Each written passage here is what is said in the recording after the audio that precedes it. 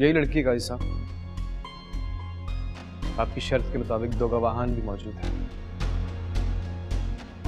बिस्मिल्लाह कीजिए तैयारी शुरू करें। किस बात की बिस्मिल्लाह? क्या हो रहा है यहाँ? मेरे और तुम्हारे निकाह की बिस्मिल्लाह।